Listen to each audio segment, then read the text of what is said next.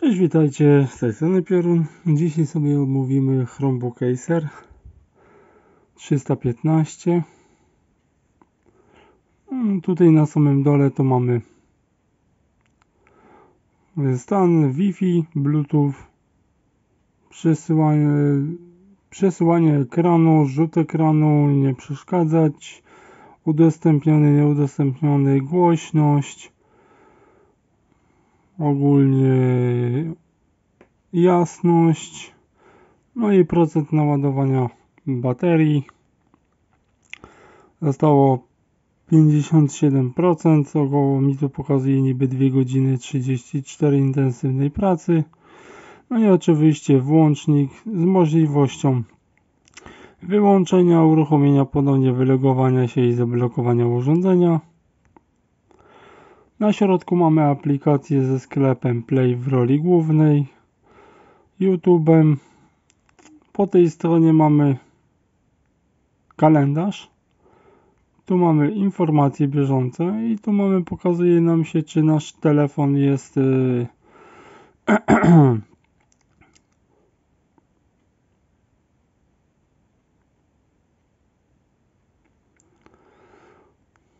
I powiem szczerze, i czy telefon ma właśnie włączony Bluetooth?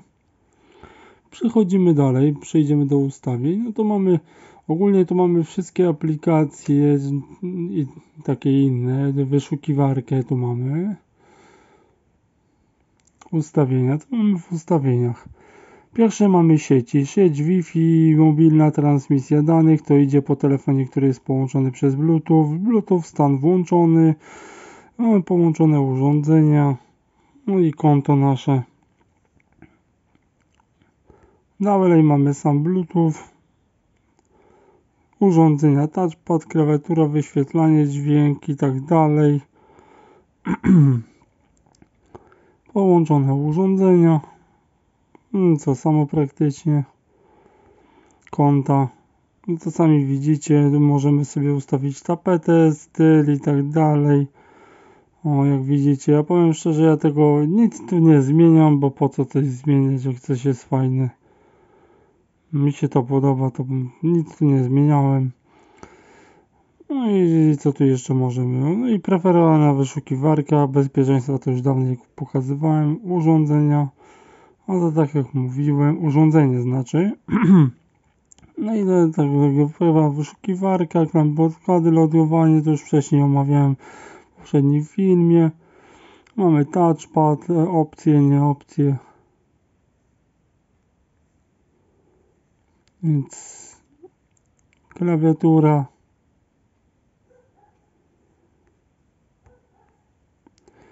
Wyświetlanie.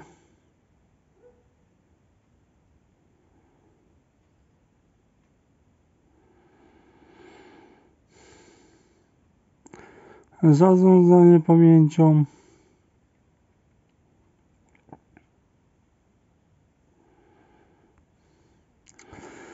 No i zasilanie jak widzicie.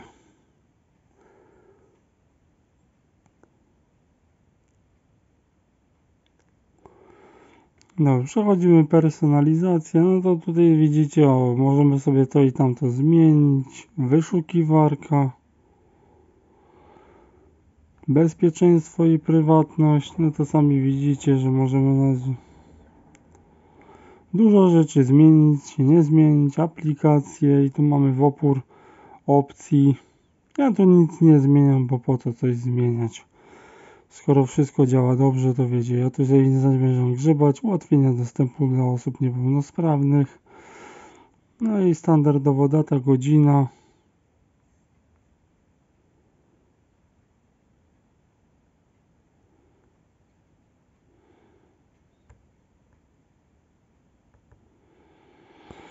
Data, godzina,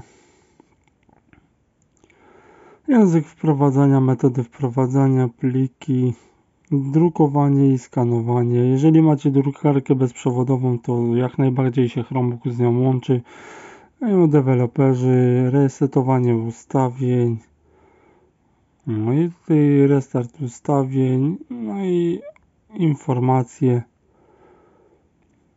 Więc naprawdę już dzisiaj zaktualizowałem już do nowszej wersji oprogramowanie. Więc naprawdę sprawdzimy sobie diagnostykę. Mm, Zrobimy sobie przeprowadź test.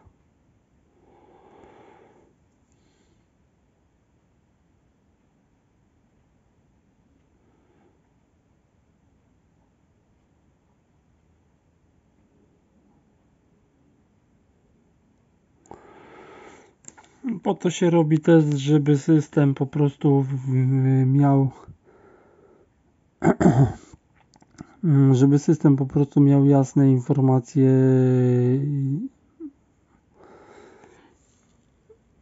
przeszło doskonale. Test procesora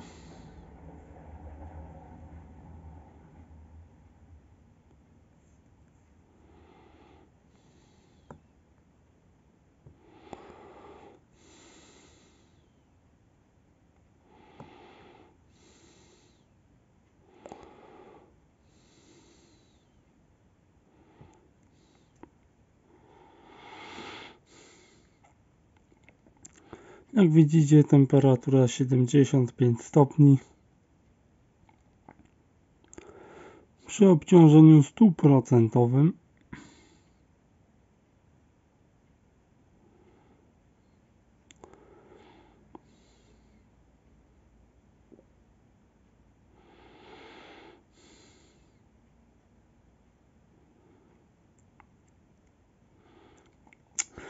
Prostu jeden użytkownik e, YouTube'a poprosił mnie, żebym przeprowadził właśnie pokaz możliwości tego urządzenia, co ono może.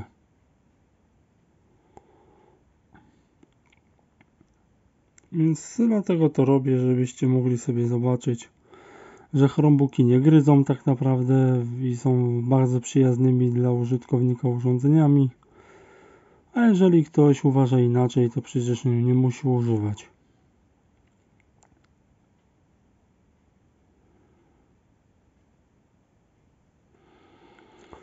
A po to przeprowadza się taki test, diagnostykę, żeby system miał obraz tego, w jakiej kondycji są dane podzespoły urządzenia.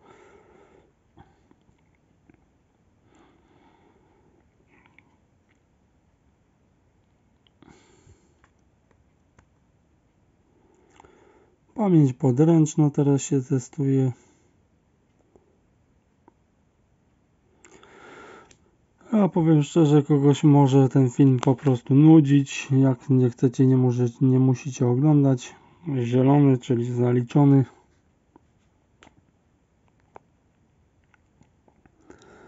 A już dawno miałem po prostu zrobić sobie właśnie taki test, że przetestować baterię, procesor, zaraz jeszcze i pamięć podręczną się zrobi, precyzja obliczeń zmiennoprzecinkowych.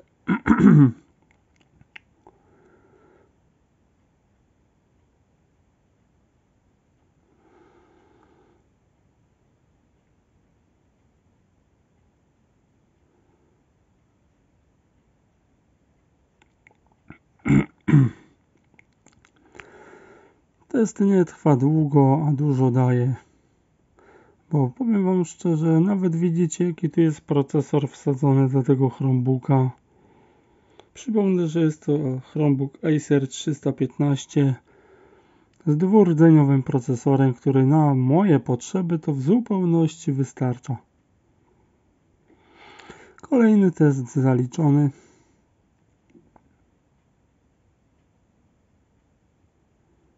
Teraz znajdowanie liczb pierwszych, test. To jest też bardzo ważny test.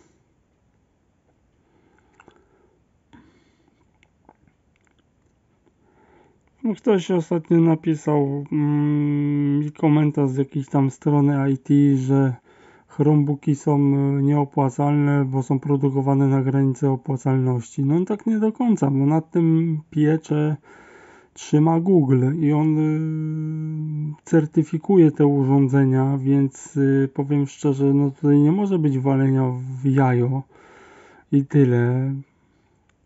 Powiem szczerze, te urządzenia y, są przewidziane, przewidziane, przepraszam, przewidziane na działanie na okres 10 lat. Ludzie, ja mam starego mojego laptopa Toshiba, który jest z 2012 roku i powiem wam, powiem wam szczerze, że ten laptop już powinien zdechnąć, a cały czas yy, pracuje. O, nie, nie, nie. O. No i nam się pamięć testuje, jak widzicie.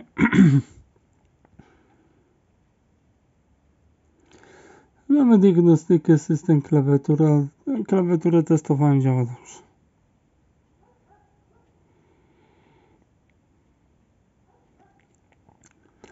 E, powiem szczerze, że w tym laptopie nie ma czegoś takiego jak wentylator. Tu jest kawał blachy naklejony za pomocą pasty termoprzewodzącej na procesor i to w zupełności ludzie wystarczy. No. Wykonuję test pamięci jeszcze troszkę. Pozostało około 30 minut. Dobra, 30 minut pozostało około.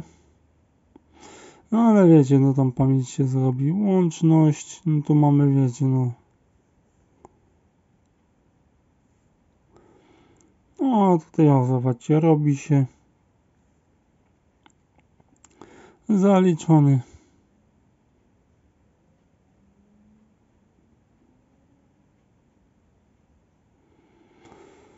Tu mamy klawiatura. Przetestuj.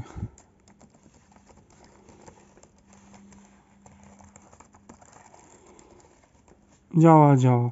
Jest wszystko bajkowo. Według mnie jest wszystko bajkowo, więc po co wiecie męczyć dalej.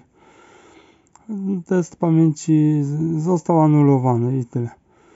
No ale zaraz sobie przetestuję i powiem wam też, rzucę sobie cały czas y, też test. Y, znaczy mm, dobra, no to tam test pamięci to też przeprowadzę. O, niech się robi, bo tutaj już mamy ogólnie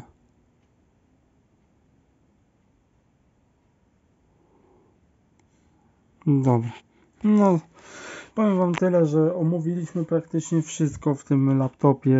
Tam data, data jaką do końca jakiej Google będzie wspierał to urządzenie, to u mnie jest to 2031 rok. Więc jak dla mnie bajka. No, trzymajcie się na razie.